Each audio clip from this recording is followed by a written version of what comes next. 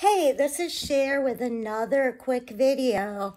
I just wanted to show you guys what I've been working on lately.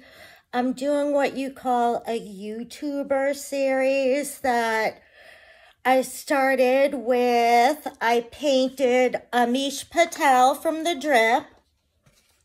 That's Amish with his third eye and the microphone and his beads. Those are the Hindu beads. I forget what they're called. And of course, a bunch of drips. So if you know Amish, I think I caught him pretty well. The next in my series was, the second one was Joey the Gypsy. This says, I appreciate every single one of yous. And if you know Joey, you'll know what that means. So I think I captured Joey the Gypsy and his expression pretty well. He's a YouTuber, pretty interesting guy. Um, so Amish, um, he does like a lot of commentary about politics and other things, but very spiritual guy. Therefore, the third eye, Joey.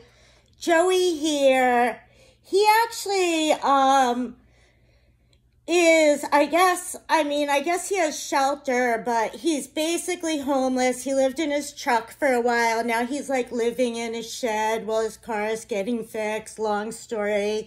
But he is a very interesting guy because he's survived a lot of things that I've feared in my life. I've had fear over. And the way he explains it, I, I've been letting go of some of that fear. I think you know, he's a young guy, only 36, um, but pretty wise, I think. A lot of those lessons took me a few decades more to learn than him.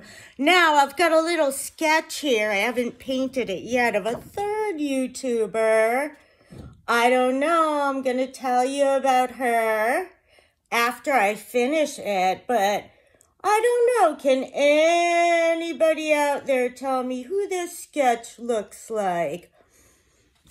Hmm.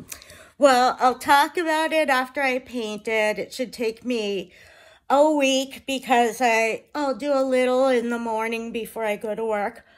Uh, but that's it for now. So have a great day, morning, weekend, yada, yada, yada be kind and p p p peace.